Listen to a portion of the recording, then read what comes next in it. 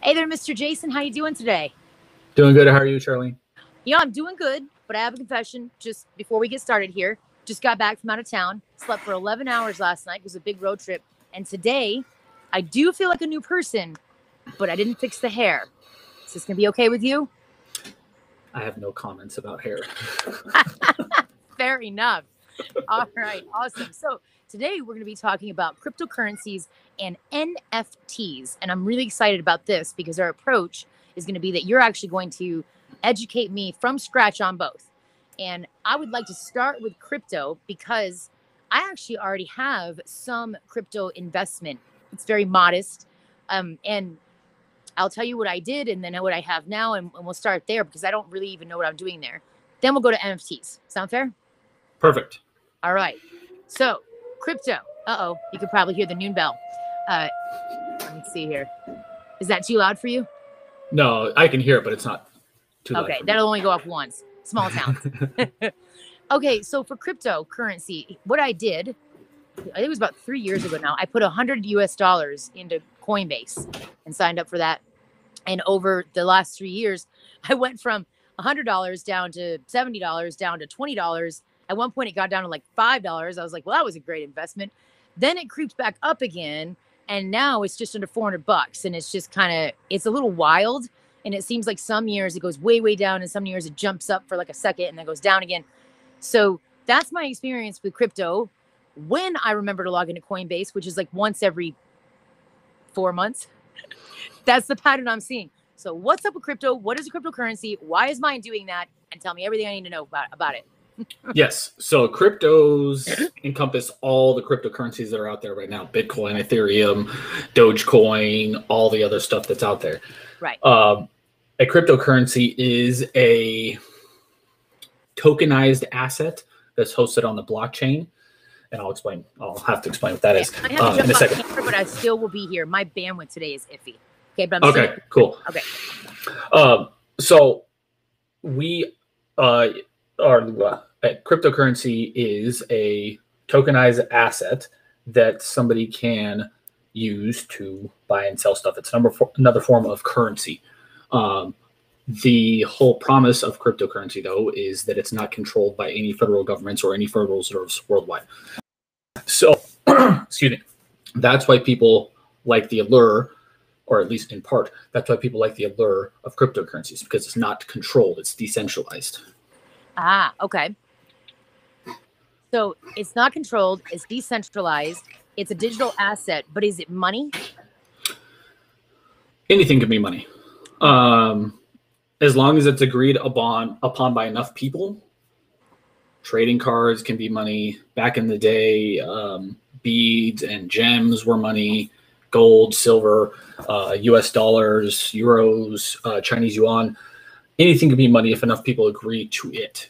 So yes, it is a form of money. Um, Okay. Well, I need to interrupt for one thing though, because you said anything can be money if enough people agree to it. Now it seems to me like not a lot of people are agreeing that cryptocurrency is money right now. So is it money yet? It is, and that's changing rapidly. So I first heard about Bitcoin probably 2013, 2014 timeframe when I was working on an investment newsletter. And the uh, guy I was working with, guy who hired me, he was talking to me about this cryptocurrency and the Bitcoin and how he bought Bitcoin and was going up a ton. And I was like, I just, I just didn't understand it um, at that point. And that was a mistake on my part. Um, because I didn't invest in because I didn't understand it. But having said that, you should understand cryptos to a degree if you're going to invest in. Not every single nuance, not everything about the blockchain, not everything about decentralized finance, all the stuff we're going to probably talk about today, but you should at least understand the basics.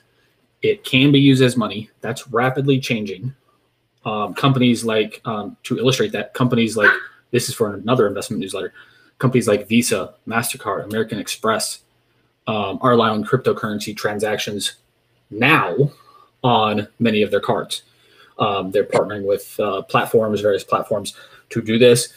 And so if you have, let's say, 100 uh, Bitcoin or $100 worth of Bitcoin, Right. Hi, puppy. in in your on your crypto backed uh, Visa card, for example, you can use that to buy stuff. Now, to your point, it's pretty limited up to this point. That is changing rapidly. You can now I just read it like last week for another investment site I write for that Visa, it was Visa and MasterCard were partnering with various companies, including big ones like Apple and Amazon, to allow Visa and MasterCard backed cryptocurrency cards. Sorry, that's a mouthful. That's okay. To allow purchases on their platforms at some to be determined time. It's starting to happen now, but it's not happening in mass yet. Okay, so I have so many questions now. First is that if I get a card like that and I can use my crypto, I'm not sure would it be smart for me to do so because the problem that I'm seeing with my cryptocurrency is that on any given day it could be worth an actual dollar or it could be worth less than a dollar. I don't exactly know what I'm going to be paying for. I'm sorry, I don't know the amount I'm going to be paying. Yeah. How to equate it to the US dollar. Do you know why I can't figure that out? Is that a murky question? That may be murky. No, uh, you can't figure that out because the price of, for example, Bitcoin, it changes every day. It goes up and down every day, just like the US dollar currency does. But the US dollar currency for us Americans doesn't really change in value on a day to day basis. One dollar yesterday will still get us a dollar worth of stuff today, barring things like inflation and price rises and stuff like that. However, if you go to Europe, for example, from the US, me and my wife went to Spain a couple years ago. The exchange rate was not good.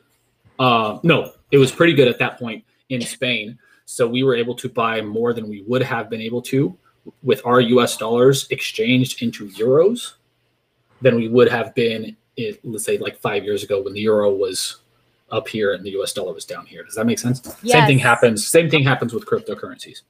So it's not that cryptocurrencies are unique in the going up and down in the value. I think No. what I'm hearing from you though is it's unique that it's going so extremely up and down. It's so volatile right now. Yes, and I will say the value and the price are two different things. The price is what's kind of going up and down, kind of crazy. The value doesn't really change much over time, um, or it does slowly, but the price goes up and down crazy. That's that's what you're referring to. Um, yes, that is relatively new. So throughout history, we've had again different currencies that have kind of ruled the world. Been world reserve currencies, what they're called they have gone up and down in value just like they all do all the time but the sky high fluctuations from what was bitcoin worth like five six years ago 100 bucks Yeah. for bitcoin now it's 20 30 40 50 60000 that has not happened that kind of skyrocketing I, to my knowledge has not happened okay. And I was confused. I'm glad you clarified that because I absolutely was confusing the price of Bitcoin with the value of Bitcoin. I didn't know there was a difference until just now. yes So First lesson learned. Okay. Value of Bitcoin and price of Bitcoin are two different things. yes Slightly side note, just to see if I understand this correctly. Is it the same for gold? The price of gold versus the value of gold? this is the same for everything For everything. This is the same Okay. for stocks. This is the same for private businesses. This is the same thing for commercial real estate. This is the same thing for a pair of jeans. Huh, Um, I used to buy and sell stuff or buy stuff at thrift stores and um, sell them on places like eBay and Amazon. right. I found it was a Giorgio Armani, like a brand new pair of Giorgio Armani pants one time that I bought for I think two dollars. So that Right. was the price I paid, right? Uh huh. but I sold it on Amazon or on eBay for I think it was eighty or hundred dollars. So that was the value somebody perceived that they wanted to get out of that Nice transaction. Okay. So when we talk about price and value, it's different for everything we're dealing with. So Okay. again, water. I have water in this cup right here. This one, me and my wife and our friends went to Mexico. I have some water. Water right now is worth what cents in the U.S. Yeah. But if I'm in a desert and I need it, what would I be willing to pay to get a this jug of water? Jason, I kind of feel like The an idiot. I honestly never parsed this out before. Don't feel like an idiot. Anybody watching this, don't feel like an idiot, um, because most people, even in the investment realm, don't realize price and value are two completely separate things. Yeah. They just see, for example, the stock price going up, and they think the value of the company is going up. Some cases that's true, Most cases, it's not. Most most uh, times, especially right now. For example, what's going on right now in the stock market? Prices are going up when value, like pretty much straight up. But there we go, backwards again. Ah, But the values of the companies are going up only slightly. got it. All right. Thank you for that. That's actually that locked in a lot of foundations for me that I was missing before. So I'm glad to know that. Perfect. Okay. So we have that. So now to build on that foundation, let's talk about decentralized banking. I think Yes. that is what cryptocurrencies are promising. What does that mean? What does that mean in a real world sense? Mhm. is the idea behind decentralized finance, decentralized banking is to put more power in the hands of you and I, people out there who want to take, who want to have more control over our finances, over our savings, over our transactions, over all that. Ha- This has come about in the last, really, the last about five years, and it's accelerating now. Why? because the internet the internet is the probably the best example of decentralized anything ever it's not run by one any one government it's not run by any one company it's not controlled by anything True. so the idea is with the power of the internet to give us more power um, put more power in our hands and take it away from places like the big banks for example that's the theory That's the theory. Okay. yes So what that means then for somebody like me is I could look at my I'm bank sorry, I have to get my dog. She wants up on the bed. Not a problem.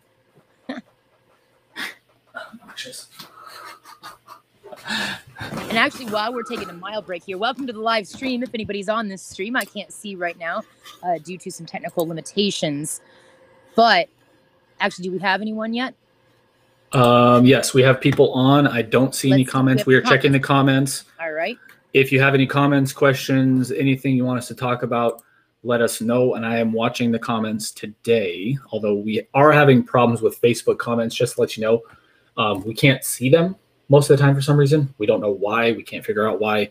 Um, so if you're watching on best place, if you want to comment, is probably go to YouTube Yeah. um, because we can see the comments on YouTube. Yeah, and let's explain the camera for a moment. I it's not allowing me to go back on camera. We're going to carry on because what we're going to do is anyone that's seeing this live will also get the recording. Anybody who's not also will get the recording. The recording will be edited. So we'll see Jason anyway as the teacher here. I am less important. Jason is the knowledge here. So we definitely want to make sure he can be on camera. All right. So we've got decentralized banking now, or at least in theory. So for somebody like me, I think what this means, and tell me if I'm wrong, is that I can look at my bank I can look at my business account and I can look at my personal account and I can see, okay, they're going to charge me X fee for doing a thing. Uh, so I can say, do I want to pay that fee? Or I can say, do I want to put it in Bitcoin and get around that fee? Is that what is that what that means for me? Sort of. So if you trade in and out of Bitcoin, for example, or you uh, here's actually a real world example. Those those Visa and um, Visa and Mastercard Bitcoin or cryptocurrency backed credit cards I was talking about. Right. You still have to pay a fee on those. Okay. Those fees don't go to necessarily the banks, the big banks, but they go to I think it's like a two percent fee on Visas. Um, Mastercards are about the same, and then American Express has a slightly higher swipe fee. It's called a swipe fee. Um, you still have to pay those fees, so it's not a way to get out of fees per se. Um, that's that's not part of the promise. The main promise is, along with the decentralized part and putting more power in our hands, is that it would be backed by the blockchain, which the blockchain. Not going to get super nerdy. oh, we're going to get into that in a minute because I actually Okay. okay. about that as well. We'll get into there. We're going to dive into that. Okay, perfect. I'll just do the short example Yep. here. So the blockchain will essentially be able to track and encrypt every single transaction that you make. So again, let's say you have water, uh, and I want to sell this to Charlene. If this was encoded on the blockchain, it would notice that transaction and keep a ledger of that transaction. That I learned this uh, phrasing from one of the investment newslet- newsletters I used to write for. It would keep track of that transaction on the ledger. So no matter how many times it's transacted, you will be able to keep a record of that. Why is that important? Because then that can help you eliminate fraud. It can help you find out if you've been stolen from, who stole it from you. Um, again, that's the theory of the blockchain. Okay. And while we're on this, so I will reiterate that with a simplistic statement. What you're what you just said there was in theory, with cryptocurrencies, transactions will be a lot more secure because we can actually track the entire life of the product uh, that's tied to that transaction. Correct? That's Correct. what you're saying? Okay. Correct. All right. Now let's talk about blockchain in general and what that is. Now that um, I'm going to ask you first. I know I know a lot about that because it actually goes into my wheelhouse, which was the tech stuff that I used to do. So, what is blockchain exactly? Go deeper into it. We already talked about why it's important, but let's talk about the nitty gritty. Let's first talk about blockchain. I'll ask you questions one by one. Okay. What is blockchain in depth? Okay, so we already talked about like what it is in theory, what it's going to do, blockchain.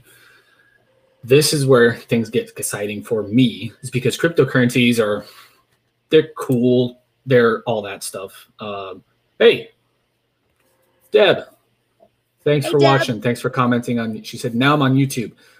Yay! she must have heard my comment about getting on YouTube. Good of you to join us, Deb. Yeah, And- thanks for watching, Deb. And Jason, before you carry on, you just said it because I'm going to call bullshit on that last statement. You said cryptocurrencies are cool, yeah, but actually, from what I've seen from you, you're not that excited about cryptocurrencies. You're more excited about the technology. Is that true? Yes, and that's what we're getting to in the blockchain. There so again, when I said cryptocurrencies are cool, the idea is cool. I'm not huge on cryptocurrencies, and we'll get into that probably later.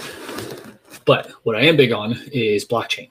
I think blockchain is going to transform pretty much everything we do. Um, how? Because because it can track again this water. Let's say um, parts of the western U.S. need water because they're having a severe drought, like in California. This happens pretty much what once every three to five years, something like that. Right. Um, Charlene, in the U.S., let's say they need a massive influx of water. Water at that point becomes more valuable, so it might be ripped off. Right. So if there's a transport of water, again, yes, I know water is not a great example because it's very heavy, it's hard to transport. The economics aren't great. Just go with me on this. I'm going. I like it. But let's say you have a huge uh, transport fleet of vehicles transporting water from, let's say, where I live in Florida to California. It's ultra valuable. It's um, going to a place that needs it, so they want to be able to track it.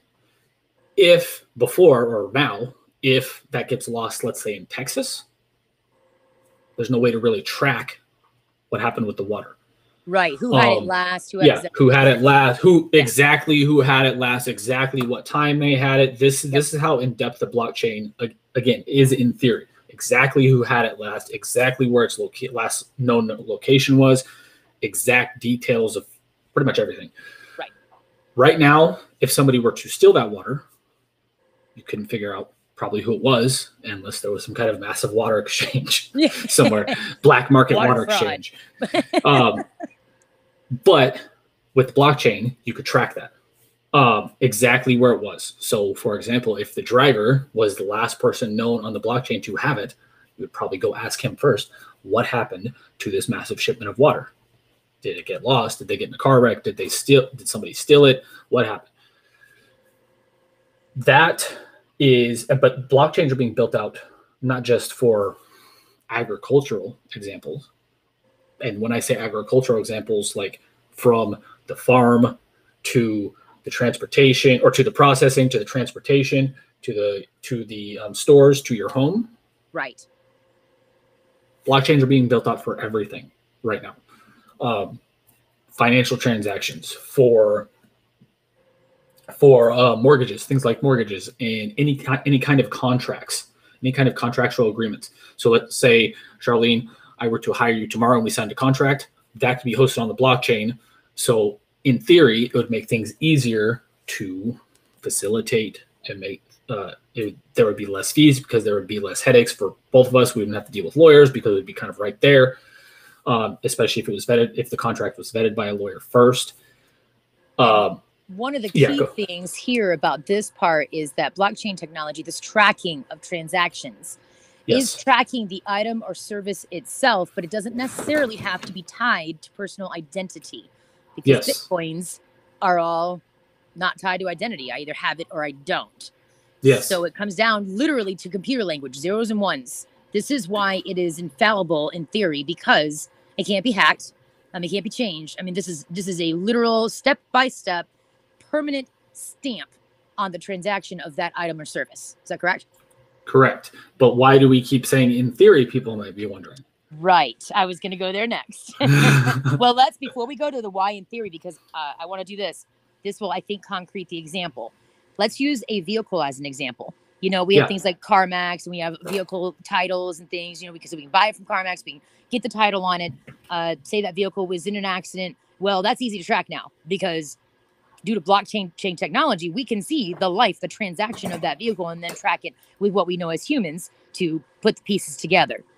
However, Yes.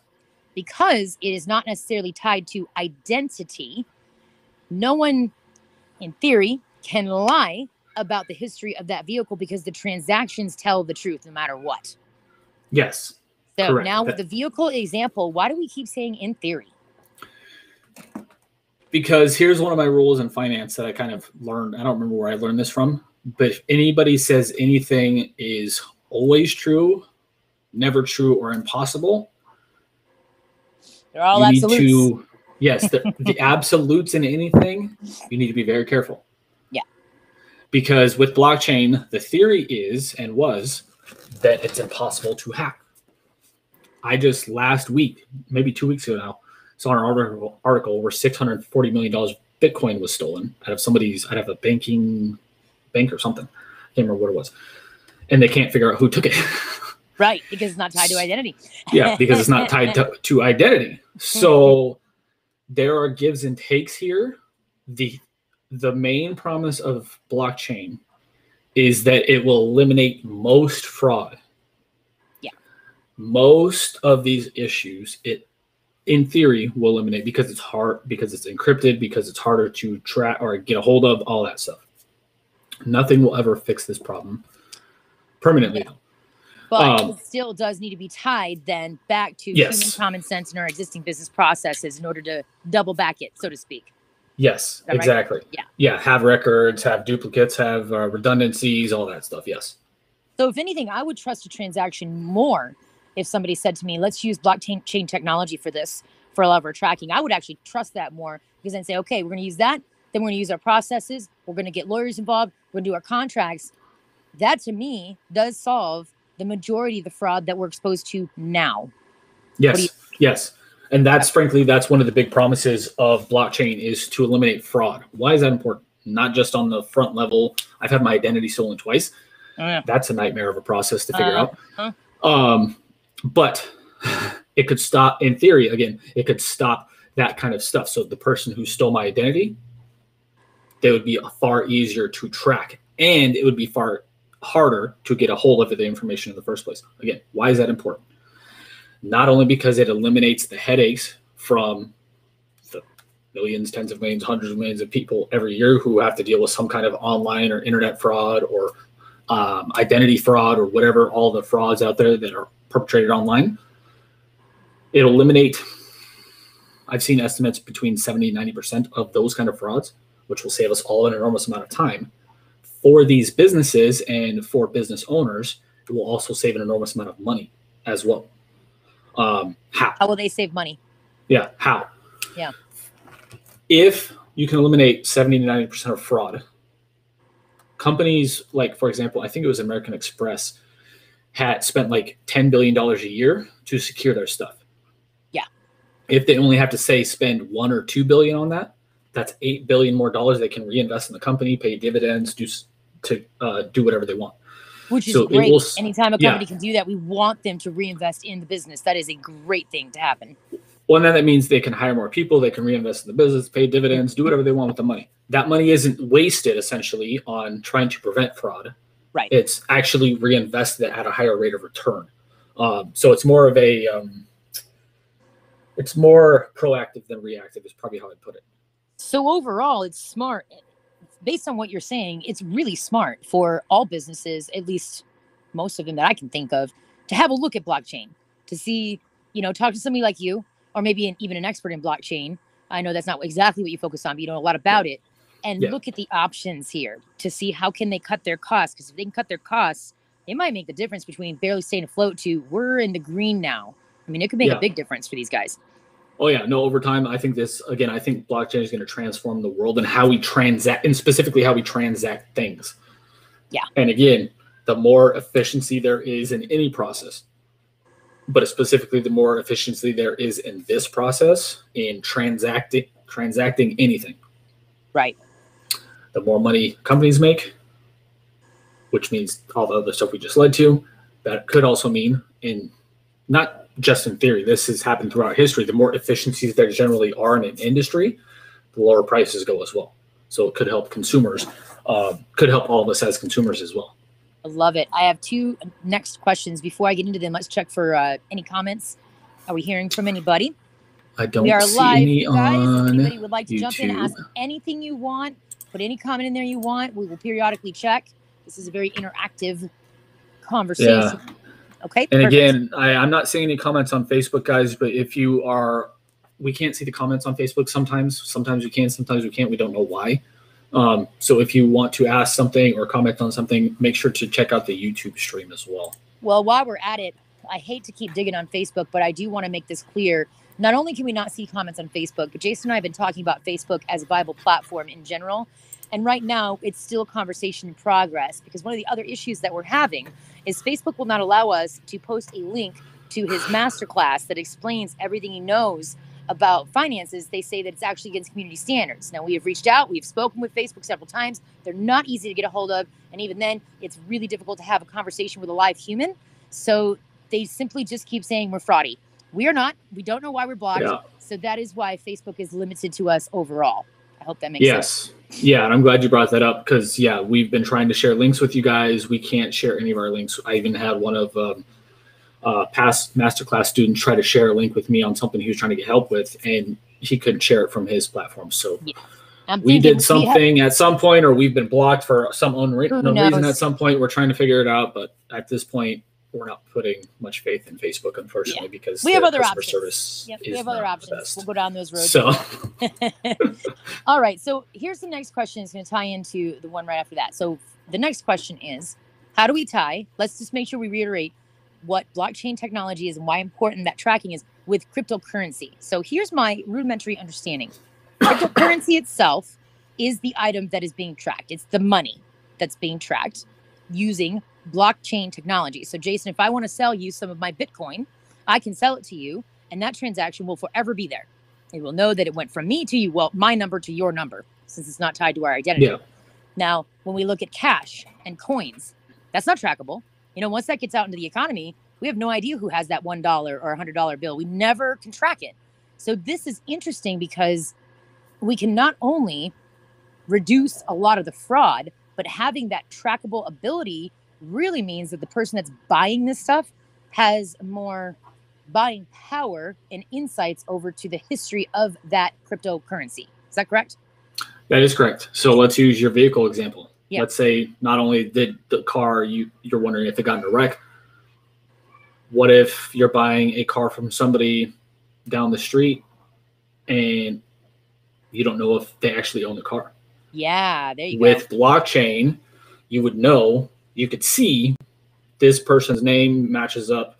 Well, not this person's name. Well, but using our you- processes, but yes. yeah, using the processes, you'd be able to match up is this the rightful owner of the car or is this stolen stuff? Right. Um, and again, stolen stuff could be boats, could be boat motors. I live in Tampa where there's a lot of boating. You Hmm. see every once in a while about boats or motors getting stolen. If those have chips in them, it's a big one. yeah, firearms. Yep. If these have chips in them with which is coming with the Internet of Things, no matter whether you like it or not, it's coming. Right. There will soon be Yep. microchips and everything. Um, you'll be able to track who had that last, all that stuff, and you'll be able to know is this a legally obtainable item or is this stolen? And eventually it'll probably be even things like biometrics and hand encoded stuff, things like on firearms and all that stuff. But that's a different story because that's that's more futuristic. That makes sense, though. I mean, I do feel like that is the direction eventually, you know, Yeah. that we're all heading. Now, let's talk about cryptocurrency Uh, let's talk about what it got my attention. Why it got my attention. I was reading at the time about countries overseas losing their uh, their money, their existing money, and their economy collapsed. We've seen it Mhm. happen in Greece a couple times. I think we've seen it in Egypt. Um, actually, we've seen it in a lot of countries over there where Mhm. people, once they have that situation, now their money, whatever that is, their currency is worthless. But if they have cryptocurrency, it's unaffected by that. As long as that cryptocurrency is accepted by the vendors that they still want to do business with. Is that correct? That is correct, but that gets us to a problem that Okay, we we talked go. about. As long as it's accepted by Yeah. enough people, Yeah. that is becoming truer every day. Bitcoin, all all cryptocurrencies are being accepted more places, more merchants everywhere. However, certain countries typically do not like this stuff. For example, China and India have both banned. I think not maybe not all cryptocurrencies, but at least Bitcoin stuff like that. Yeah. Um, it sounds like a crypto police state masquerading as security.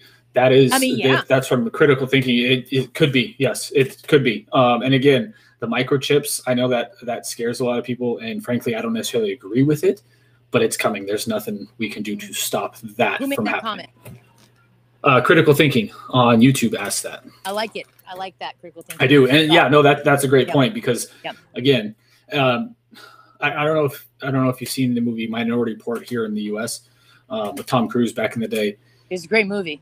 It was I really like that movie too, um, but there's a lot of scary stuff in there, um, and a lot of that stuff is coming true to a degree in various different forms. For example, in that movie, you had the eye, the eye scan to get into the building or whatever towards the end of the movie.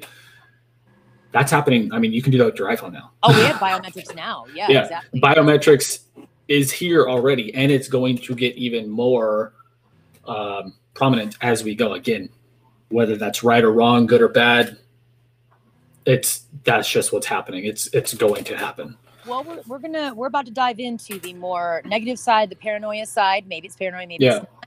We're gonna dive into some of the, some of the fears around it, and then come back around to positive points. The reason I want to touch on all of these things is because if somebody like me is looking at investing in cryptocurrencies, they should be aware of everything. Um, Yeah. And some of the fear, in my opinion, is simply that it's simply fear. It's not uh, fact based, but some of the concern is valid. so we Yeah. have to be aware, you know. Well, and to get back to the the China and India thing, Yes, let's go back to that. this is one reason I haven't invested in Bitcoin or any cryptocurrencies at this point because I've studied history. I know that governments when they when their when their currency comes under stress, they do everything they can to fight against that because their currency gives them power over their government, taxes, the people, all that stuff. Yes, literally what makes their country run. Yeah. So, for, uh, for example, before we get back to China and India, the U.S. dollar hasn't always been around. Back in, I think the Civil War ruined the greenback was the currency at the time because the U.S. Um, spent so much money and was so much debt after the Civil U.S. Civil War, they had to create a new currency because the greenback defaulted. Like I don't know if it was a technical default like some of these other countries we're going to talk about, um, but I do know they had to get rid of that currency and they implemented the U.S. dollar years later to take the place of it because the currency came under too much stress. How does that relate to China and India? They have outlawed to some degree, and I think India banned all cryptocurrencies. Banned them. You can't transact in these things. Well, Again, that's what that- they say. Yeah, There's that's what they say. it. Yeah, there's ways around that. Yeah, And again, is that right or wrong? I don't think it's right, but but it is what um, it is. it is what it is. And again, I expected that because of the history I've studied. Uh, are more countries going to do that? Probably, frankly, um, because they don't control it. If they, if the U.S. government, for example, they don't directly control U.S. money supply because the Federal Reserve does. It's an independent entity, which it's not, but Yeah. they say they are Sure. which means they can print as much money as they want and do these things that they've been doing during the 2007 2008 financial crisis and during the covid crash they can print money they can buy bonds they can yeah they can do all that stuff it, they can't do that with bitcoin because they don't control it Right. um, that's why until that is more situated to me, that means Bitcoin and the other cryptocurrencies are more of a speculation. Again, technology is fantastic. I'm fascinated by the technology. But until it becomes widely accepted, literally pretty much everywhere, then if you have a million dollars, for example, in Bitcoin, but you go to India, but you don't have any other cash, probably can't do anything. right. All right. So let me ask you this. You're a business owner. You just said that Bitcoin is not really viable until it gets more widely accepted anywhere. Why aren't you accepting Bitcoin then? If you wanted to get accepted anywhere, you have the option to throw your hat in the ring and say, I accept this. So how come you're not doing that? So with the payment processors I use, Stripe and PayPal, I don't think I have the option to accept cryptocurrencies at this point. Okay. Um, I don't think I do. If there's an option out there that somebody knows of, let me know. And I would. If there's it. an option, would you? Is or do you have any other uh, um, objections to to accepting it? No, I don't. Um, because to me, uh, I'll get to your comment in a, in a uh, second. Critical thinking, because that's a great comment. Um, to me, I don't care as long as I can exchange it to, for example, U.S. dollars, because yeah. that's what I transaction. I don't. I don't care. Um, so I wouldn't have any. I wouldn't have any qualms against that. Um, okay, critical thinking said technically all of today's fiat currency is crypto. However, the only difference is you can physically possess it, making it seem real. It's all debt. 100% agree. Nice. The money out there that is money is not real money. It's not backed by anything. It hasn't been since since the 70s. Uh, probably never will be again, frankly. Um, no, 100% agree. But that is the U.S. Uh, dollar is the world reserve currency, and that is what is accepted at most places worldwide, even outside the U.S. Um, it's accepted at many places worldwide, and even when it's not like directly, like let's say when I go to a merchant in, in Europe, they only accept euros. You can exchange the euros or the U.S. dollars into euros either there or at an ATM or at a currency exchange thing. You can't do that with Bitcoin right now. Um, so again, until that changes, even though I 100% would agree with you, um, that yeah, that's. Right. I mean, we also had yeah, another comment in there. Did we? I thought we did. I don't think so. I'm not seeing one. I wish I could see these. Yeah, I wish I could see them too. It's driving me, especially the Facebook stuff. It drives me insane. Right. Um. We'll carry on. If I not. don't think so. If yeah, I don't see anyone, one. Come over to YouTube for now so that we can chat with you. Yes, please. Yeah, if, if we, if you have a comment, we're having some issues with Facebook. We'd love to interact with you. We can't on Facebook. We can't see the comments for some reason. Um, so come over to the YouTube channel. Yeah. And crit- Critical Theory's got some good thoughts there, and I also love that name, Critical Theory. yes. Uh, leading to critical thinking, which I know this is a little bit of a bitter statement, but I wish we could see more of that lately. more critical thinking skills. So, yes. All right. So we have now, you're saying that the US government is not going to adopt this yet because they cannot control it. Let me back you up a little. Are you here? I see you're yes. looking at something. Okay. So I'm I'm posting the YouTube link in the uh, chat. Here. Perfect. So hopefully everybody on Facebook can see it too. Us. Yeah, if it allows us, we'll see. Okay. Yes. So when I first put one hundred dollars into Bitcoin, I went to Coinbase. That's the website I used to do it, and I put it in. And at that time, three years ago, Amazon. There was a rumor that Amazon, during their annual meeting, were were, were about to step up and actually say, we're making it official. We are going to accept Bitcoin. So I thought, wow, if I'm going to get into this, now's the time because Amazon, Jeff Bezos should send me a thank you card actually for how much money I spend on Amazon every year. I expect you and my wife both. Yeah. Yeah. Like I buy everything from Amazon. If Amazon figured out how to sell cars, I'd probably buy a car from Amazon. Like, so, because it's so convenient and they know everything I want. However, they chose not to do so during that meeting. It was very disappointing. Do you have any insights as to why they chose not to do so? I have a guess. Yeah, what's your guess? My guess is that they were pressured by the US government and maybe people from Treasury, maybe people from um, Congress to not do that. Because again, if let's say all major retailers on earth accept Bitcoin, why do they even need to accept US dollars at that point? Well, because one could make the argument that just because they accept Bitcoin doesn't mean that every single U.S. citizen is now going to just use Bitcoin for all their transactions. It'd be like Oh, I agree. another option. I agree, but that's the fear of the U.S. Ah. government. So that would be my thought as to why they stepped away from that decision. They were probably pressured to. Would be my guess. Okay. That's a good word that you use there, fear. Let's get into some of the fear. So, one of the fears that I have heard from the US government itself is that because we can't track it, we don't trust it. The fear tends to be, well, US government, why do you want to track my money? It's none of your damn business. And the and and you probably want to track it because you just want to charge me more taxes on it anyway. Are any of these statements fear or are they actually concerns that could be true? Both, all Okay. of them. Okay. All right. Both. Yeah, Yeah. seriously. Um, the reason, because I've seen this off and on for the last couple of years, is I think it's senators and Congress people from both sides of the aisle. Um,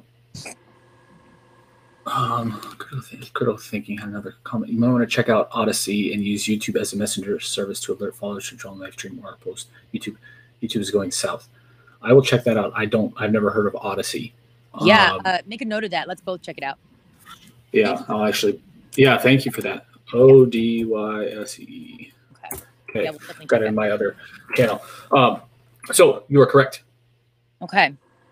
The reason that that's correct and it's fear and it's true is because I've seen senators, Congress people in the U.S. and frankly worldwide. I've seen this worldwide.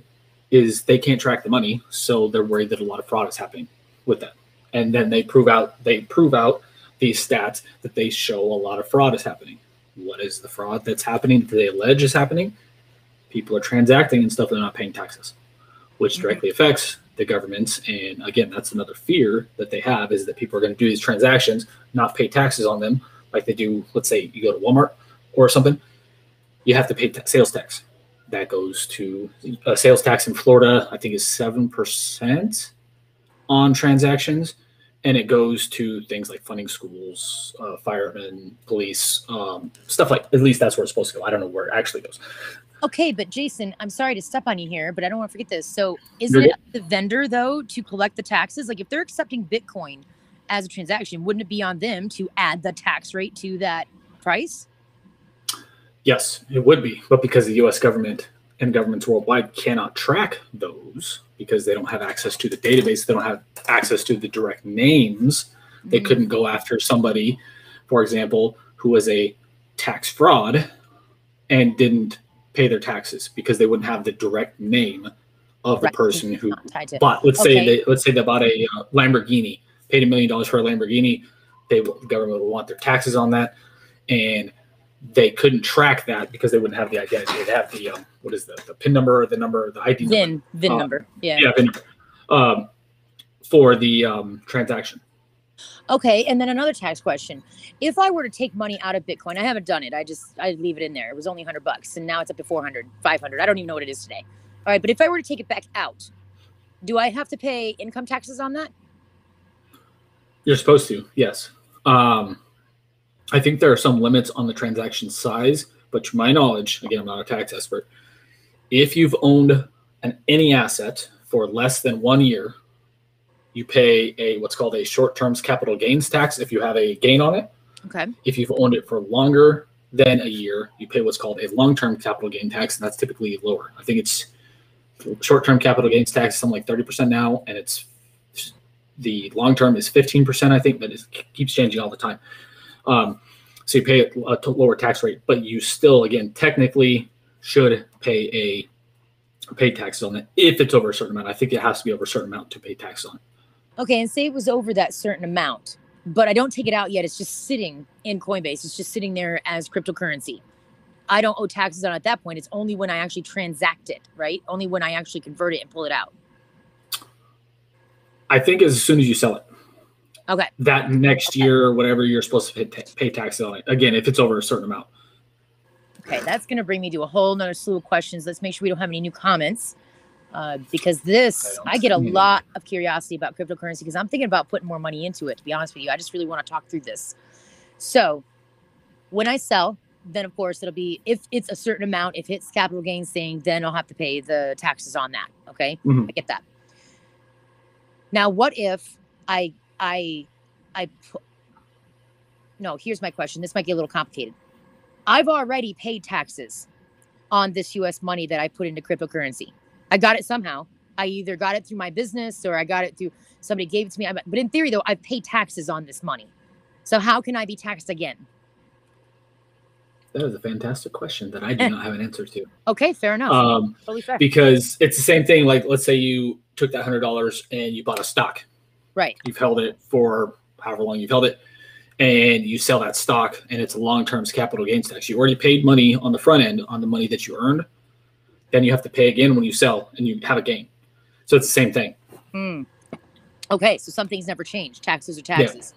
Yep. death and taxes. Death Death, and taxes are, are the only truth. Uh, what, what is it saying? The death and taxes are, are the only certainties in life. That's correct. what the saying is. yeah. All right. So I I actually I didn't like what I was seeing when Bitcoin was going down. I'm sure anyone that invests in the stock market can relate to this. So I don't like when the stocks go down either. But I like it when they go up. You know, as long as I want to sell.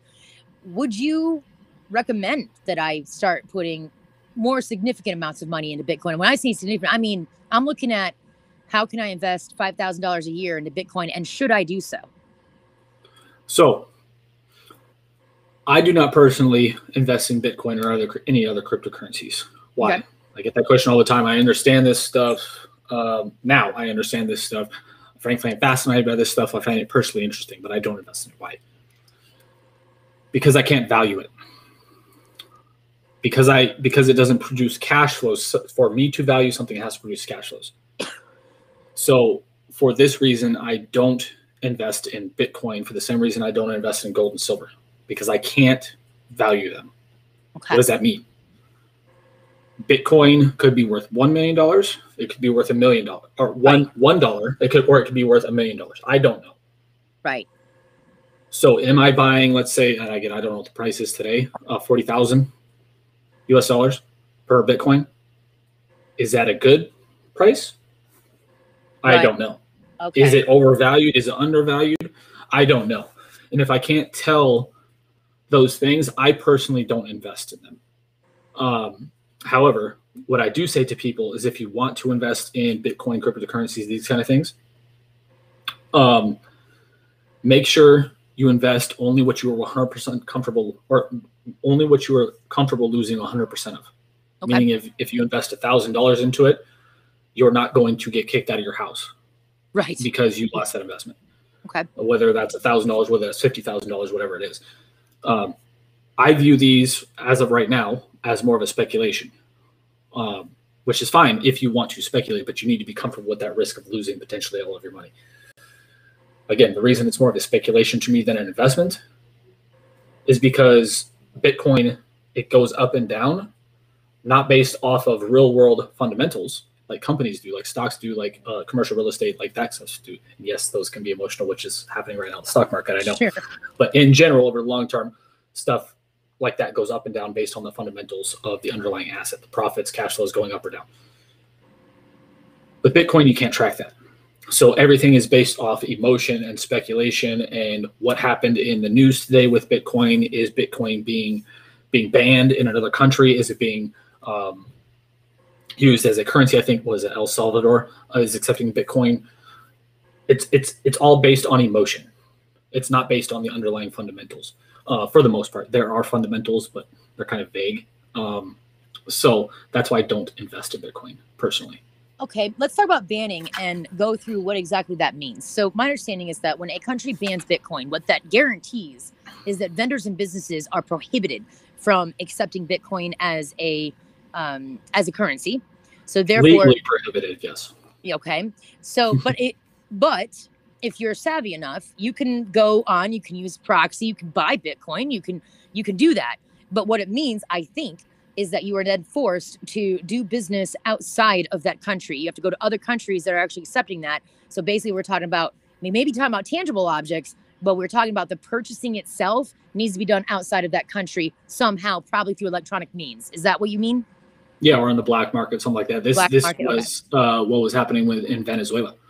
Mhm. They they um they when they started what was this three four years ago now? That's crazy to think about.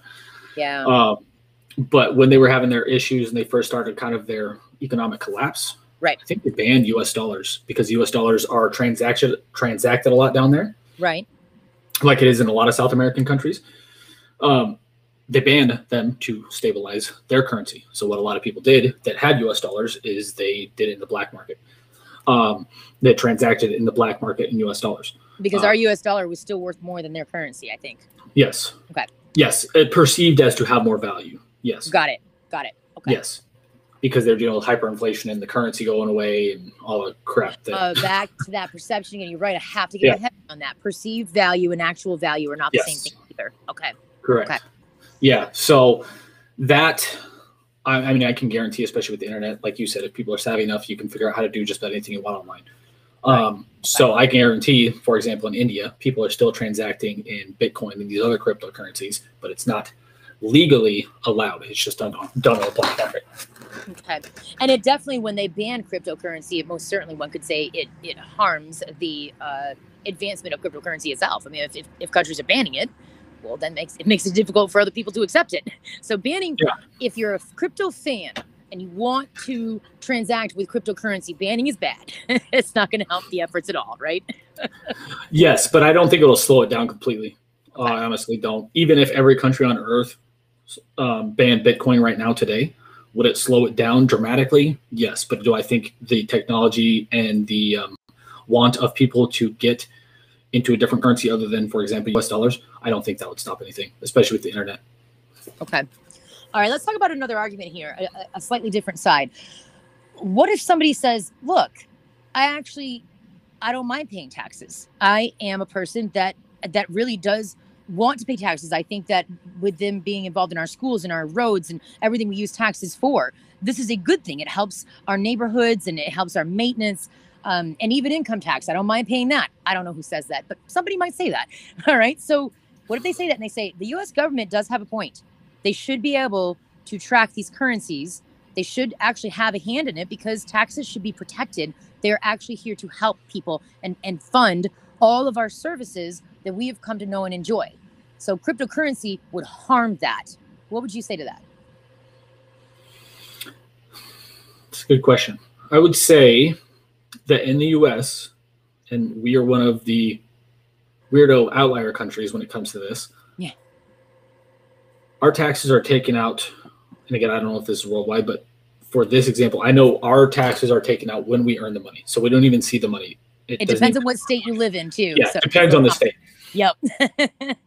but in general, and I don't remember what the exact study said, uh, but I remember seeing a study years ago that the U.S. is one of the only countries on Earth that has mandatory taxes, where most people, like I think it was like ninety percent of people in the U.S. pay their taxes. Yeah. And most other countries that have compulsory tax rates, people kind of do it begrudgingly, or it's like a low rate, or they do it stuff in the black market. It was some insane stat. So in the US, with that in mind, I don't think it would change much because most people would still pay their taxes because the IRS is probably historically the most powerful policing agency in the United States. Got Al Capone, got got all these other people on things like tax fraud. Some of us like to refer to the IRS in the United States as legalized mob because that's exactly Yeah. how effective they are. yeah. Uh, they in the US, you don't mess with them. So I don't think in the US it would matter much. Other places where tax rates or where taxes are compulsory, but people don't like paying taxes, um, I think it's a bigger problem.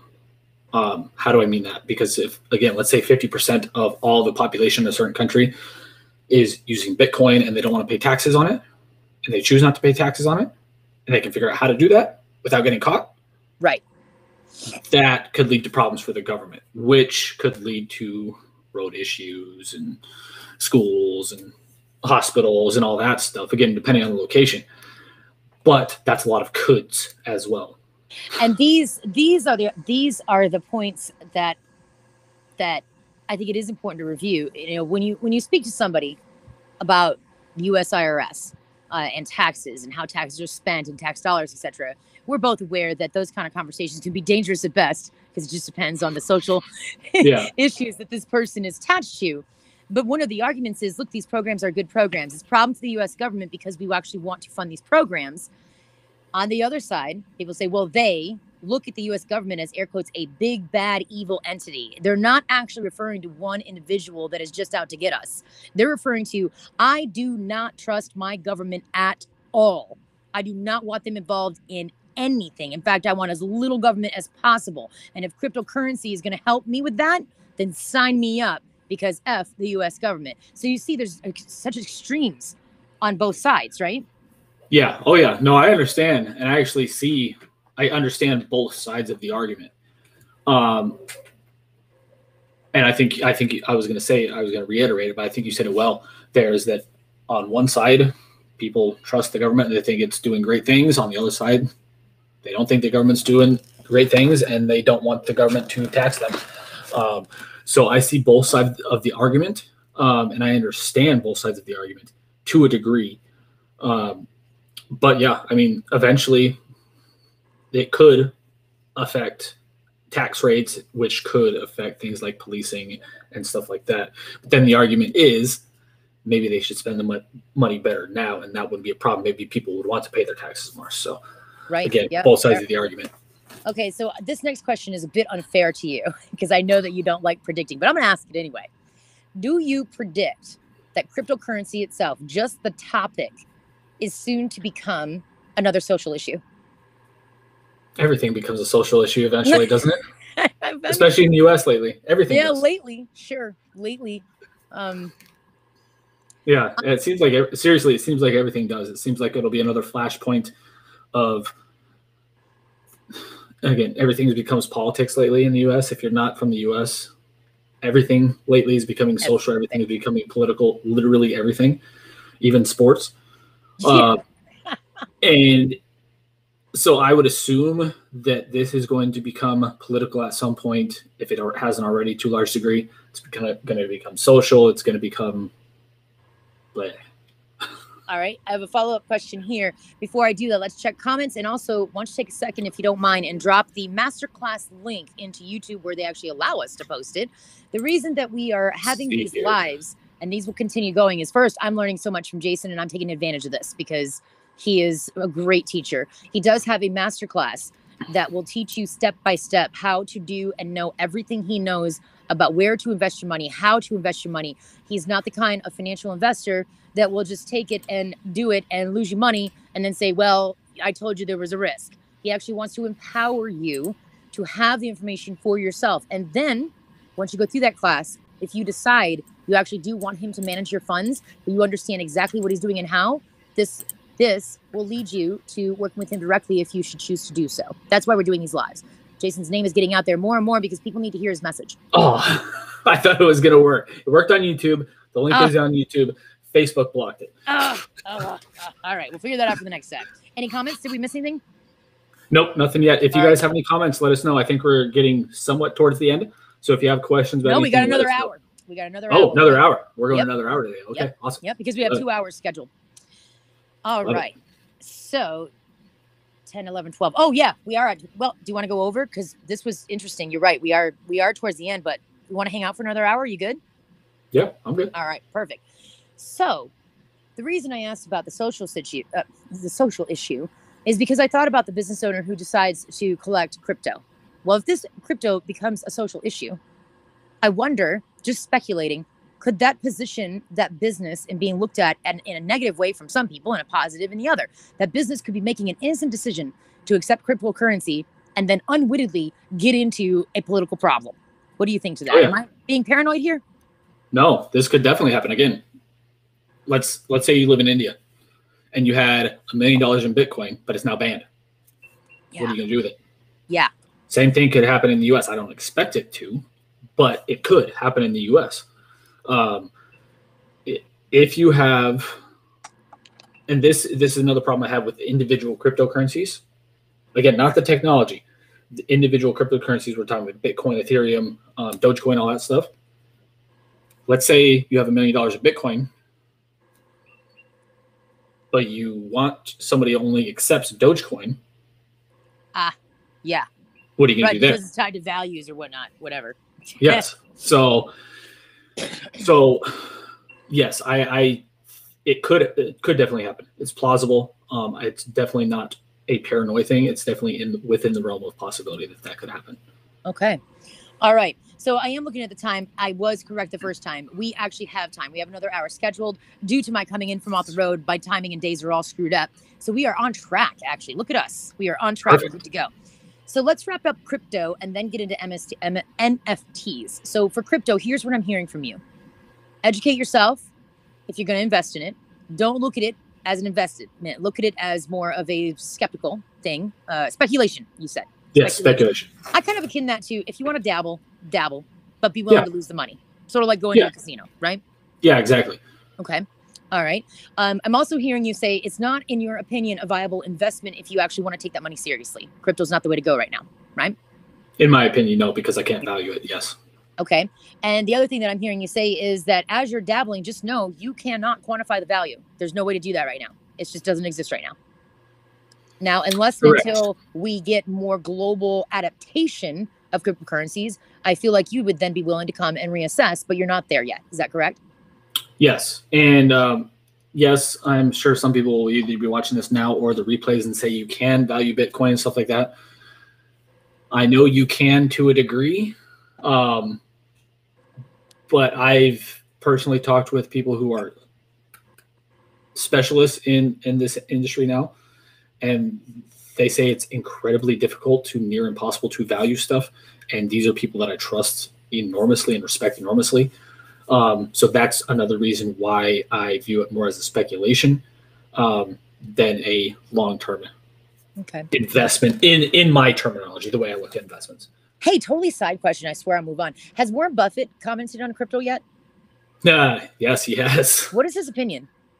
Him and his right-hand man, Charlie Munger, they've built Berkshire Hathaway from well, Buffett built it from hundred thousand dollars investment to at last check it was like five hundred billion dollar company. Yeah. They both hate it.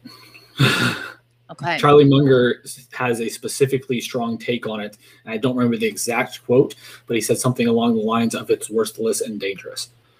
Uh, I don't take it that far because, again, to me, it's like any other speculation, Right. um, which I don't invest in anyways. Um, so because I because I see them as dangerous, um, but the reason the reasons they don't like it that much is for the reasons I've outlined. You can't value it, um, all the other stuff that we talked about. But Charlie Munger's biggest problem with it, to my knowledge, is he views it as a complete speculation, like any of the big speculations of the last hundred hundred or so years. The um, stuff that was going on during the Great Depression, the housing stuff in 2007, uh, he views it as that kind of level of craziness that's going on. So that's another reason he he thinks it's going to hurt a lot of people. Okay. Makes sense.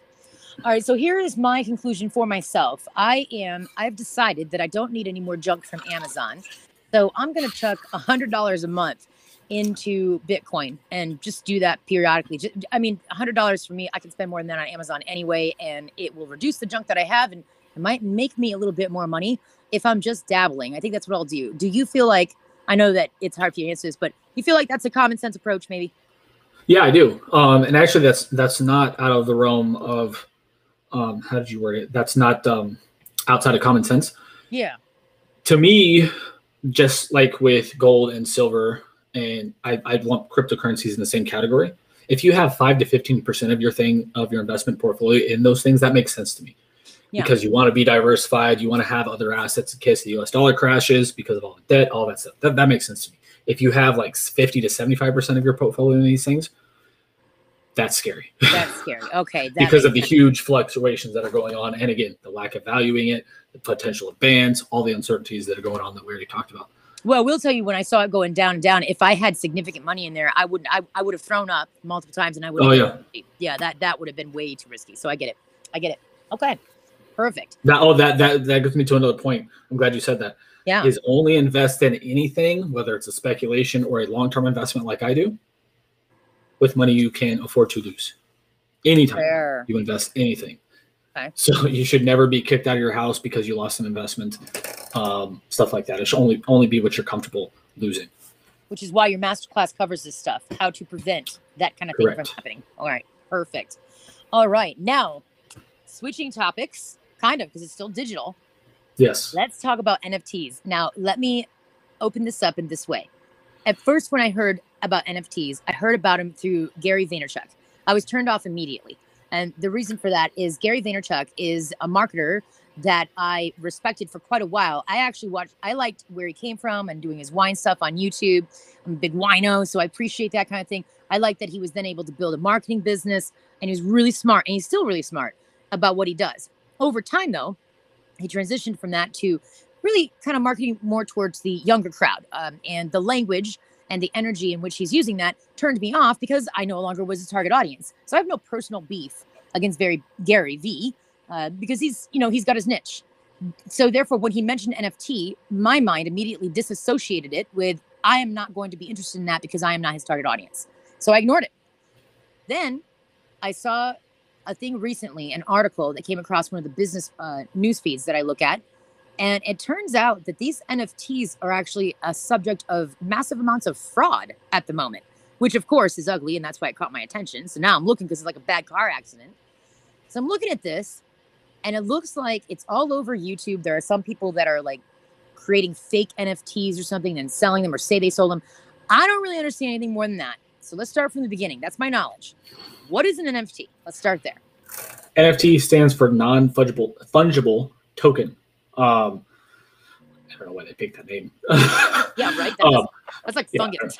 yeah, I don't know why they picked that name, but the way I like to think about NFTs is it's um back when me and my brother were kids, we we bought and sold and traded um uh like foot, baseball and football cards. Oh yeah. Okay. To me, that's what like an NFT is. That or a piece of art. Well, shit. Uh, my husband has a metric shit ton of baseball cards. I'm tracking this. Yeah. now. Okay. Yeah. So to me, that's what it's like because you have an asset that maybe only a thousand people, for example, can have worldwide, and then you can buy, sell, or trade that with other people for other Okay. stuff. Now this is a digital asset, though. I'm gonna make that clear. Yes, this is a digital asset, though. Correct. Okay. What is it's it? Is not it a physical picture? trading. Is it like a picture or something? So it can be pictures, can be um, drawings, can be. Um, I think there's even music out there. Um, there are NFTs, uh, but I think most of it so far is are things like pictures, graphics, um, stuff like that. Okay. Who creates these things? Anybody. So Coke um, actually created their first NFTs last week, the week before, and they are raising money. All, all money from the proceeds of the NFTs we're going to go to um, help the Special Olympics. Um, Cool. yeah. So these can be anything, and they they had several different. I think there were four different ones, and one of them was a. They the way they worded it is a reimagining of a 1950s era, one of their most iconic um, vending machines from the 1950s era is a reimagining of a picture of that. Oh, okay. I like that. I like that in theory. Yeah. So they sold that, they raised money, and they sent it to the Special Olympics. Uh, so um, musicians are doing this kind of stuff. Sports teams are starting to do this kind of stuff. Um, so another example for the sports people out there, Sports Illustrated has done these uh, for probably decades now. These special issues, like when your team wins the Super Bowl in the NFL, special issue all about your team and how they won the Super Bowl, stuff like that. Instead of that going out in a physical like magazine style format, that can be sold, for example, in an NFT as an example um, to say 10,000 people. Okay, that brings me to the next question. These are limited. How do you limit them, and who can prove that they're actually limited? How do you how do you prove that? So I can tell that is it's hosted on the blockchain if they are done through a legitimate outlet. Okay. So what's happening now with a lot of people is they see NFTs and they go buy buy buy something without doing the research. So they get taken advantage of, and because people aren't really selling true NFTs, they're selling just some something they probably just made up. Ah, Real NFTs will be hosted on the blockchain by a reputable source, um, so you can track if this is real or not. And again, like with any kind of investment ever, you need to do your research. Um, so that's that. What was what was the first question again? Sorry. that was that was how to uh, limit it. Now, how can we prove they're limited? You said they have to be through blockchain. So how Yes. does it? How does the technology say, okay, ten thousand have sold, now it's cut off. You cannot do it anymore. I don't know. To my knowledge, Okay. this is, and you might be able to answer this better than I can, um, because you have more of a technical background when it comes to this kind of stuff than I do, or a development background than, than I do. But they make, let's say again, 1,000 things, and then when those 1,000 things sell out, they cannot be sold anymore. That's to my knowledge, and they and they cap it on the development side of things. Again, I don't know how they do that, but So yeah, now you're correct on that. Now from the technology background, I can't speak to how they sell this because I'm just learning. But here's my problem with it. I suppose it comes down to me just poking holes. Where are the vulnerabilities? You know, I can as a I can use developers to to block it, you know, after a certain amount of sales. But then if I was, you know, had nefarious intentions, I could simply fire it up somewhere else and then do the same amount of blocking. Like I, I really could just duplicate this digital asset as many times as I want. So I suppose I might be answering my own question here. How is it? How can we prove it's limited? I suppose we have to look at the honesty and integrity of the company that we're doing business with, which is, I think, what you're saying. Do the Yeah. research. Right? Yeah, and I mean, is this like a piece of art? How do you know unless you're a high level art connoisseur? How do you know you're getting a real Leonardo da Right. Vinci Or knockoff. or are you getting a knockoff? Yeah. Okay. Trust and verification, authentication, all that stuff. How is that going to work in the digital space for a digital asset that you have only one of these thousand things and it wasn't a reproduction? I have no idea how they're going to do that, especially for things like pictures. I mean, I Right. honestly don't understand how they're going to do that with pictures. Okay. All right. So that's the first problem with NFTs. Then we don't really know how it can be limited or, or not fraudy. But yeah. we're going to look at we're going to look at reputable uh, brokers for this. We're going to start there. We're going to do our homework. Okay. Do our homework. What does that mean? What are we going to look at? um, make sure you're signed up on the blockchain, whatever platform you use properly. Make sure they're using blockchain. Um, Like Coinbase, like I'm using. yeah, whatever, whatever your preference is. Uh, Coinbase is, I think, probably the biggest one. Yeah. Um, something like that. Make sure they that you trust whoever using the platform that you're using. Um, how do you do that? Reviews, experience, um, all that stuff. Google rankings. Uh, I would view this kind of as a like a Google review thing. Like when you're going to look at a restaurant, do they have a ton of reviews? If they do, let's say they have hundreds of reviews and another, and if they have a four and a half star rating, but another company has say a dozen reviews and they have a four and a half star rating, most people are mo- more likely to go to the one that has hundreds of reviews versus 12 Yes. So it's I'm probably it's it's I would imagine it's probably something very similar to that. Okay. All right. Now, what are why would somebody even want to buy an NFT? That's a good question. Um, why would anybody want to buy art? Why would anybody want to buy a sports team? Um, Okay. Because I, I, why would anybody want to buy trading cards? Um, baseball, football, basketball cards, Pokemon cards, whatever your thing was. Um, because it gives them some form of entertainment, um, especially for art. They like looking at it. They think it'll go up in value. This gets us to because I lump the reason I said all these things together, sports teams, all that stuff. I appear to be frozen. There we are. Uh, yeah, I can see you. Yep, you're good. Um, I I lump things like sport teams, um, art, uh, NFTs, trading cards into kind of all the same category. And what comes into play here is what's called the greater fool theory. This is not to be derogatory. This is the actual name of the theory. Sure. Um, you buy, let's say, a sports team. Why would anybody want to buy a sports team? Other than the prestige. Yeah, other than the prestige, because they think it's going to go up in value. Hmm. So that's the same reason people buy NFTs if they know what they're doing and actually doing it intentionally. Maybe they just like to trade stuff too. Like me and my brother, we would act like we were doing stuff, but looking back, we were just kind of trading and having fun with them. Yeah. Um, so there's part of it.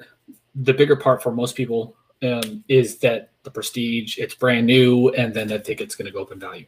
Um, same thing with sports teams. I mean, same things with with pieces of art. You think they're going to go up in value over time, or you derive some form of entertainment out of it.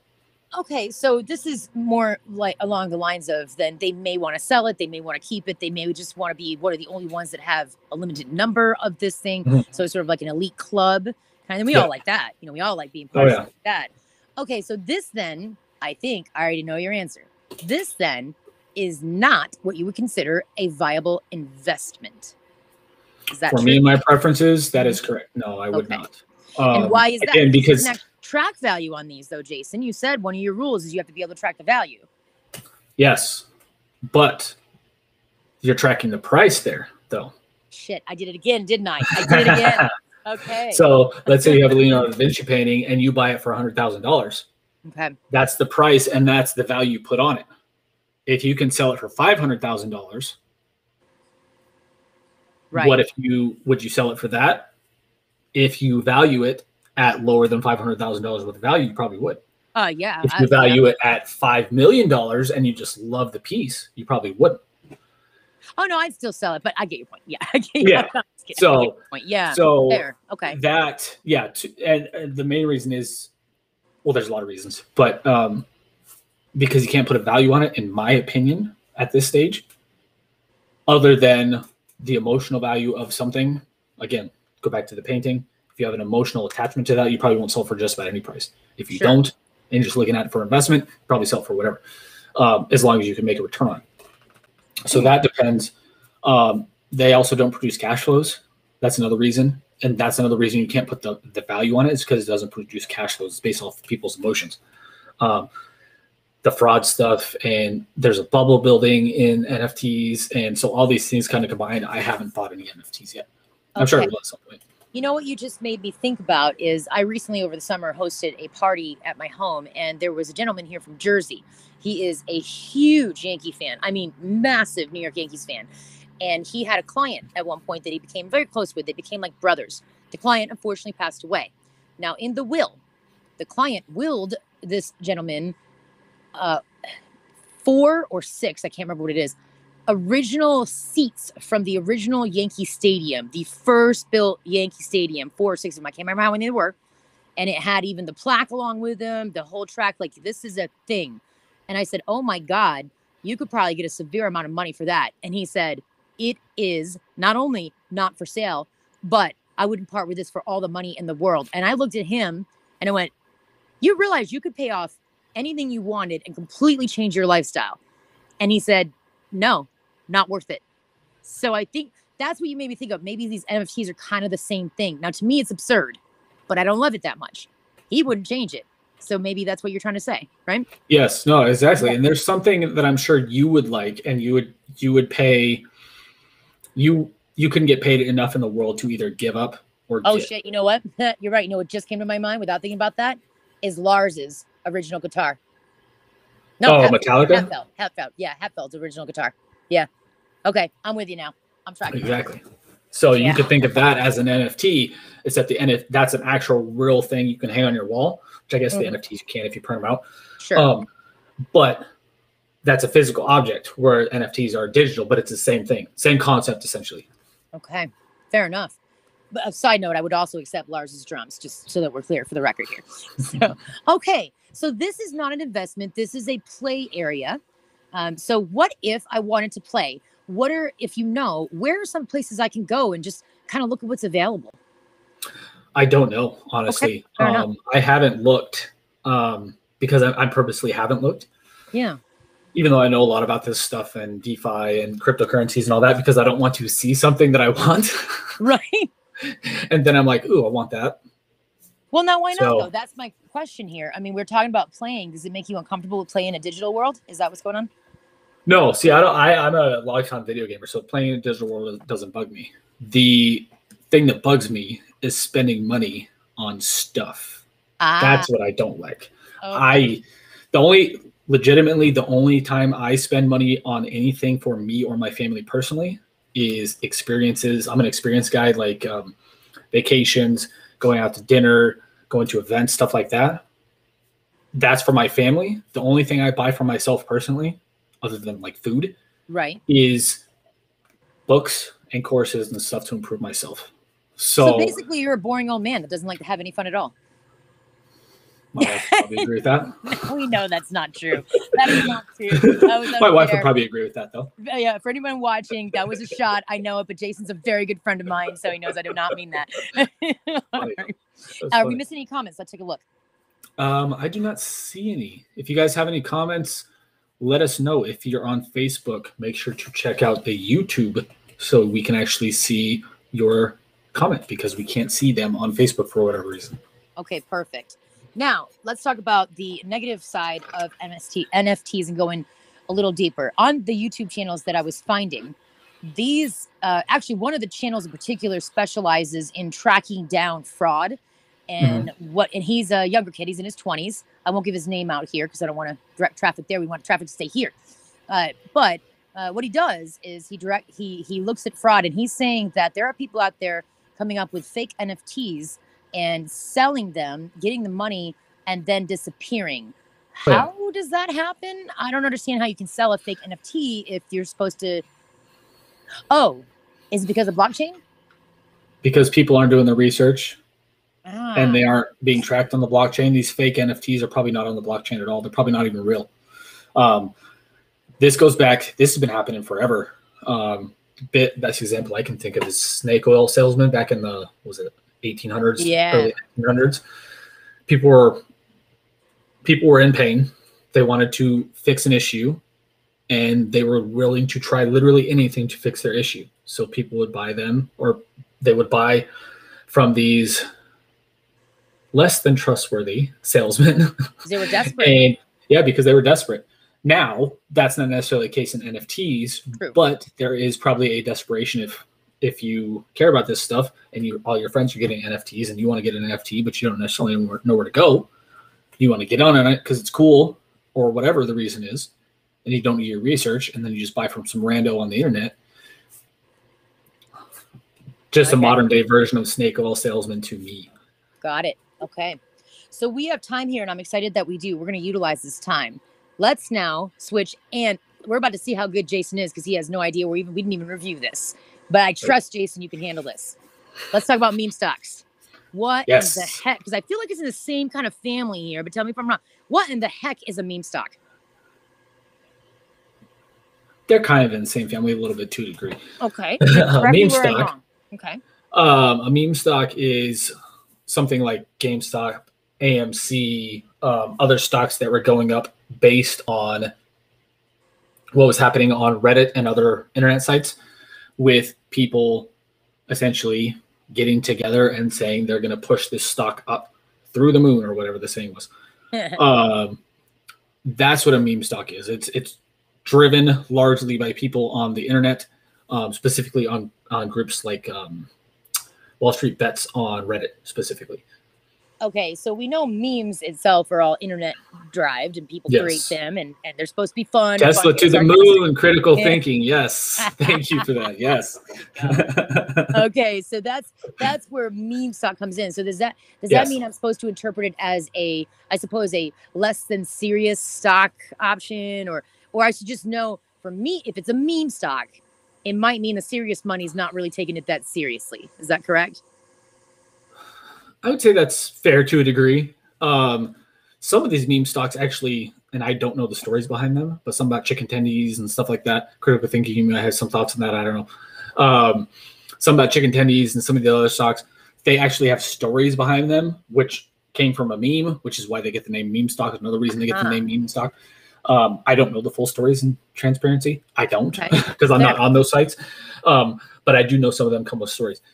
I don't know the to the moon thing though. Critical thinking, if you have that, other than it's going to go straight up. Be I'm curious. assuming that's what that means. Um, but would I do not recommend investing. in- I'll just say it outright. I do not recommend investing in them. Um, why? Yeah, why? Why is that? We'll take GameStop because I've actually evaluated GameStop. Okay. GameStop. Uh, this was probably last no, this March, this February March, when GameStop was going nuts and it went up from like forty dollars a share to like four hundred dollars a share, something like that. It was going up so fast and so crazily that every single day I was getting messages from people asking me if I should invest in GameStop stock. From Now, one of those uh, messages, not- if I remember right, was your brother. Yes, from my that's what I was gonna say from my brother, Let's yeah, let's go through what happened there. I like that. who never has once ever shown a hint of interest in investment realm. And I've been doing this for 15 years. So he was asking me about GameStop, not only because of this and to see if he could make money off it, but we grew up and we've been again lifelong gamers, and we used to go into GameStops all the time. Um, it's a terrible stock. Um, again, I've actually evaluated most of these people who are in on these things. They haven't even. I, have actually evaluated them.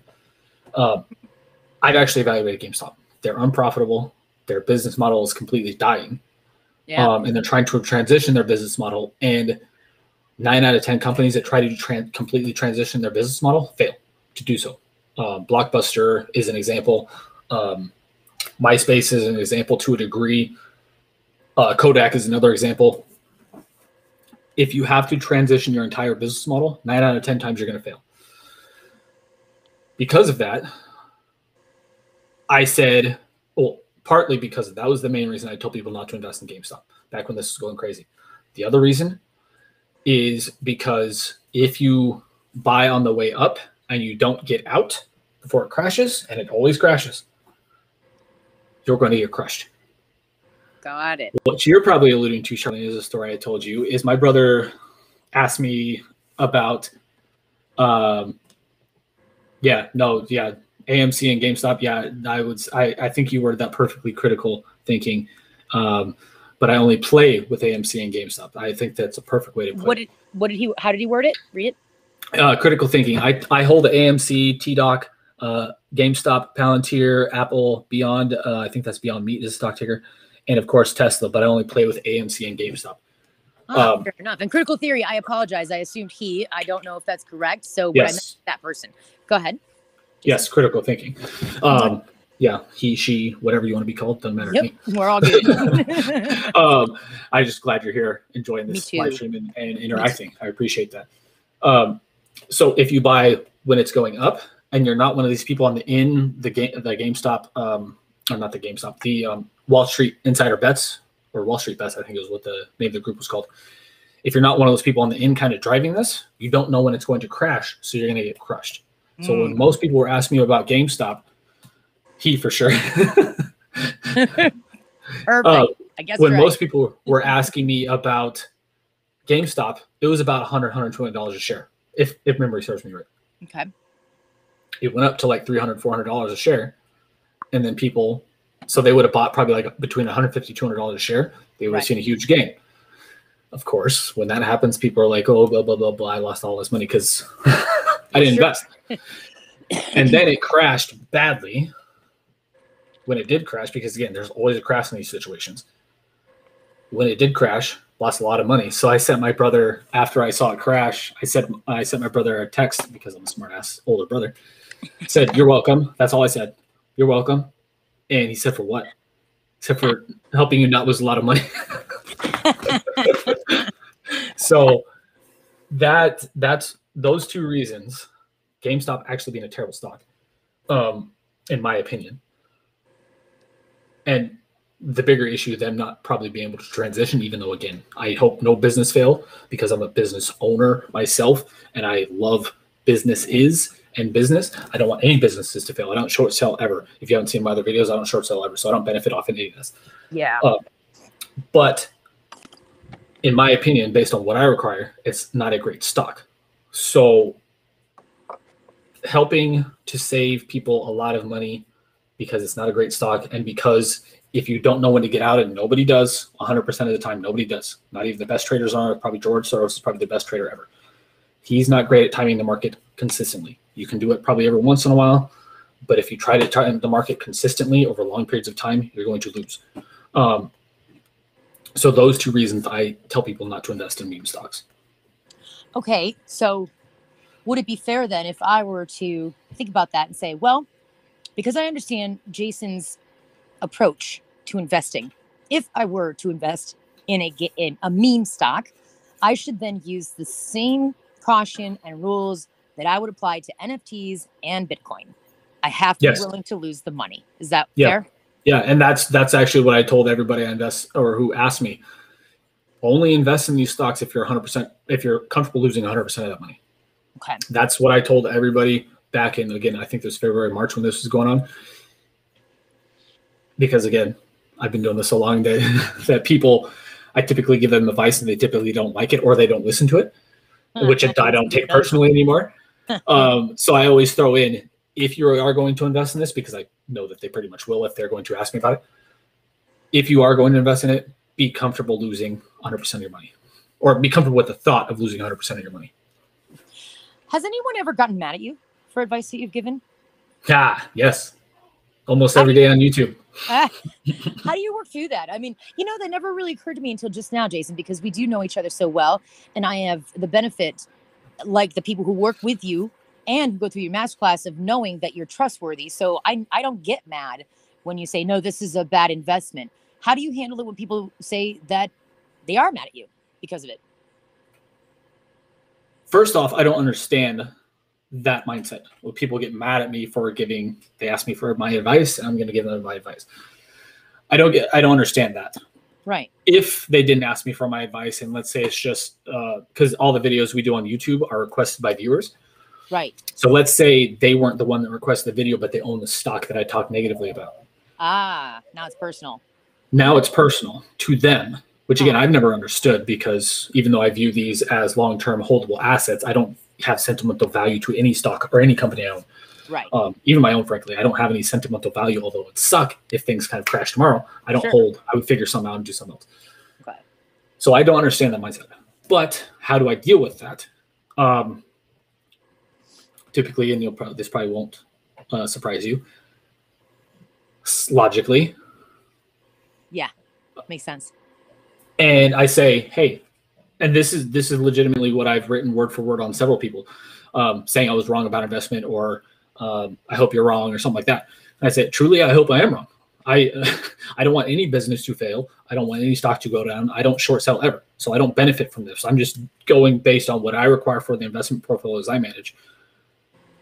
Giving you my thoughts on this because this was requested by a viewer. So I do it logically. Um, how do I deal with that emotionally? It, it used to bother me it doesn't anymore. Um, I don't know if it's because of time and experience. I don't know what it is. Um, Yeah. It used to really bother me because I'm a pretty likable person. Yeah, you are very approachable. Yeah. Um, and I'm, yeah, I'm very approachable. I'm very, I try to be very kind, very nice to literally everybody I talk to, even if they're rude or mean to me. Sure. Um, so I used to take it really personally. Um, I don't anymore because I realize now, again, I don't know if the experience thing, I don't know what it is, that people, if they own something, whether, when this is whatever it is, if they own anything, most people get sentimentally attached to things, whether that's a stock, whether that's whatever it is. I don't. I don't know why that is, um, but I don't. So that's another reason I get over it is this person is just we're just wired differently. Um, and so I don't take it personally. I usually actually when I see a comment like that, I forward it to my team and have a smile on my face like this and um, add it to our hater pile. you know what you should do? You should totally create on your website a um a hater a hater wall. I have done a video on YouTube about some of the haters before, and this was like more serious stuff, like not people just disagreeing with me. Like people, one one person literally, this was years ago when I did still take stuff personally, and when I didn't know anything about online marketing, Yeah. I was marketing my own book on my own website, and somebody told me to go kill myself Oh my God. because because I was the devil or something like that for promoting Oh my my own book on my own website. Um, I took that personally because again, that was years ago Internet but trolls. I don't anymore. Yeah. So, but I did make a video about some of the haters we've had before. I So bet that was funny. I'll probably, yeah, I'll probably do another one at some point. There you go. I bet that was funny. Well, Critical thinking has up- another comment. Sorry. Oh yes, please. Yeah, I was gonna say, look at the comments. I think that wraps up my questions for now.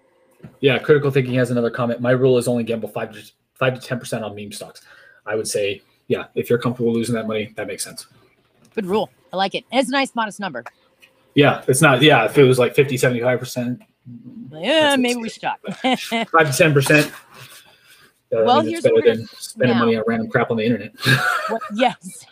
I'm telling you, when it comes down to that, that's why I've actually lately been more interested in what can I do with sort of play investments because I'm looking at the monies that are coming out for entertainment and things that we get for a household. You know, we really I'm not saying it'd be smarter to invest in this stuff, but at least the chance of it making some money is better than buying a tangible item and it just sits there. when you have a better chance of winning than going to a casino too. This is a fair point, but I'm still not going to the casino. For some reason, it's different for me. I don't know why. Couldn't tell you why. Hmm, casinos. I used to go in them quite a bit. Hmm. We went we went into one. Me and my wife went to New Orleans, and I was in a casino for the first time. The Harrah's down in um, downtown New Orleans, and we lost like sixty bucks in twenty minutes. And I told my wife, I was like, "This is why I don't like gambling. This is why I don't gamble anymore." well, the pr- because the problem is, as business owners, we can actually calculate how much time and effort it's going to take to to earn that money Yeah. back, and then how much time and effort it'll take to actually make money on that money we lost to begin with. yeah. Yep. But- Exactly. Wasn't fun. I would rather personally spend it on food. Thinking about it now, or invest in it. well, it's, lunchtime for you. I get that. So, with that in mind, I, I have no more questions. I do want to highlight the masterclass. The thing I didn't ask you today, or a topic that I should, a question I should have asked about these topics that you would like to have covered before we wrap. I don't. I will say actually one thing. Uh, you brought Gary Vee earlier. Yeah. I like Gary Vee. I don't watch his. I, I went on this huge phase where I was listening to him stuff non nonstop, um, and I don't as much anymore Same here. for, Both. for similar reasons as to you. Um, but I will say, if anybody is trying to hype up or sell you anything, and they're not specifically in the arena, you need to be very careful. Ooh, smart advice, Jason. because they're probably trying to sell you something. Um, and again, I'm not saying Gary Vee or I've seen Peng Jun talk about cryptos and NFTs. I'm not saying they're doing anything fraudulent. I am saying if you're going to listen to them for any kind of investment advice whatsoever, because they're not in the investment space, you need to be very careful. Um, Love that advice. so that is the only thing I would say. Um, is whoever you're watching, because a lot of people are talking about now, watch it with a grain of salt. Yeah. Yeah, I like that. No, that's really smart. Yeah, consider the source. Would you want to learn about brain surgery from your dentist, or would you like to go to the actual brain surgeon that does it? Yeah. Well, and here here's another example is um, on that route is if you needed brain surgery, would you rather go to somebody who has does brain surgeries all day every day, or somebody who just kind of plays in brain surgeries every once in a while? Yeah. fair enough. Wow, you put it that way. All right, fair enough. Okay, so why are we doing these lives? Let's wrap it up with this. We've got this master class. You have put together an awesome class, even for someone like me who came in to your world with zero financial investing knowledge or experience. Even I have been able to learn from these tactics that you're teaching. And you've done this on purpose. You've done this because you want to empower people like me to to have more knowledge so that they're not running into an issue with a snake oil sales guy or a nefarious uh, what do you call it investor somebody that just tries to overtalk them right Yep. so what is in your masterclass what are we going to learn So in the masterclass, um, you're going to learn how to find, evaluate, and value great stocks fast. Um, what do I mean by that? The Yeah. processes that I've developed for the last 15 years and are in the course help me evaluate 3,943 stocks in 40 days. And um, sorry, critical What'd he say? thinking has, has some great comments over here. Um, the only loyalty I have is my portfolio. Companies are for profit, and so am I. I dump after the pump with a thumbs up. That's Love it. point. And then if I needed brain surgery, I would go to Elon Musk. He may be the only person on earth yeah pretty fair example would that's go pretty to fair for exception that. Because he legitimately taught himself rocket science from learning from books. yeah pretty So- sure he could figure it out He's probably the lone exception on earth for that. That's a great way to make us look like fools critical theory well played That's awesome. i love it um, but so you learn all of that in these processes that I use to evaluate 3,943 stocks in 40 days in 73 countries. Why is that important? Because the more stocks you are able to look at, the more the higher chances and the higher probabilities you have of finding great stocks fast and investing in those stocks. Um, I did that back in. I evaluated the stocks in 40 days during the COVID crash last year, and if I was able to buy, I was not able to buy because the market shot up higher, faster than it's ever gone before. But if I was able to buy the stocks, seven stocks I found after researching those stocks, um, that I absolutely 100% was confident to buy for the long term, I would have been up 99.8% of the portfolios I managed last year, um, wow which is very good. Yeah. The average um, investor does about 10% per year. I do in the first nine years of my career about 23.5% per year on average. In the first nine years of my career, which legitimately makes me one of the best stock pickers in the entire world over the last nine years. So okay, you learn. You Go ahead. you when you have the experience. So what do you mean by fast? Do I have to go through this course for 12 freaking months before I can even look at a stock? No. So one of our students, um, Damien, who you and I are both familiar with, Charlotte, Yeah. we went through four one hour training sessions together.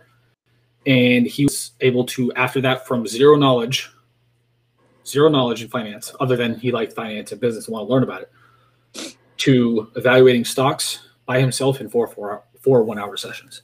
Wow. Okay. Now that's my kind of time frame. Actually, that's a lot better. So if I want to get in the game now, I'd rather it be now-ish rather than much later-ish. All right. So we Yeah, got no. stocks. What else is in your course? Um, st- well, it's mainly a stock investing course, Okay. but the perfect. principles can be used to not only invest well in stocks. I've adapted the principles myself to look at private businesses to buy and also commercial real estate to buy as well. So the principles are the same, the investing principles, in and what I mean by that, buying stuff when it's cheap. How do you figure out if it's cheap? By figuring out its value. This goes back to the conversation we were having earlier on price versus value. If the price is up here for a stock and I find the value is up here, that means it's overvalued. That means I wouldn't want to buy it. However, if they're reversed, reverse, I, I'm never going to get used to this camera being mirrored. I know. If that's reversed and the value is up here and the price is down here, that means the stock is massively undervalued. That Right. means I should consider buying it.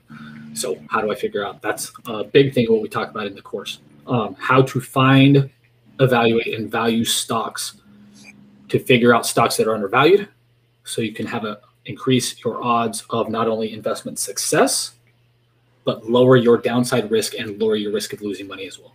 And this is a framework. You're saying this is a framework that I can then apply to real estate if I want to, or anything else I want to invest in.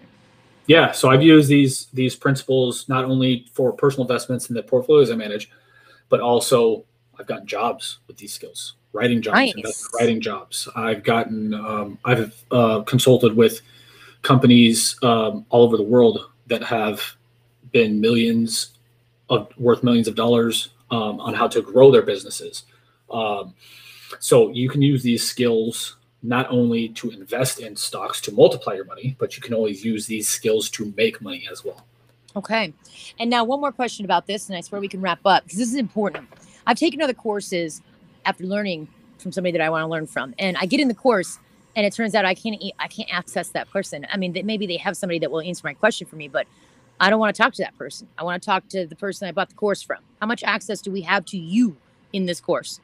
A lot. So especially the first because we just relaunched this this month, wasn't it? Yep, Earlier this yep. month. And we've We already got people coming this. in quick. Yeah. This we relaunched this officially earlier this month. We've already got people coming in, but the first to be determined amount of people, it's going to be a small amount of people that come in will get a ton of access to me. What do I mean by that?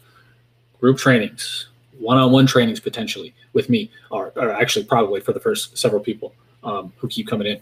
Um, access to our Facebook group, access to me via phone calls, text, Zoom, Zoom, uh, Zoom calls, all that. You will have an enormous amount of access to me, especially for the first kind of groupings of people that come in. Um, not only because I can help you because I've been doing this so long, but I can answer your questions because I've likely struggled with a lot of the same stuff you've struggled with. Um, or I've had students who have struggled with the same stuff you're struggling with, so I can keep your progress going fast so you don't kind of plateau, frustrated, and go down and then have to figure it all out again. So if I go through this and then I, I find a stock and I think it might be a worthwhile investment based on the information I have learned in your masterclass, can I then take that stock and what I've learned to you and be like, can you have a look at this to make sure I haven't lost my mind here? Would you be able to do that? Yes. Yes. So I've actually done that with students. Um, we've done that.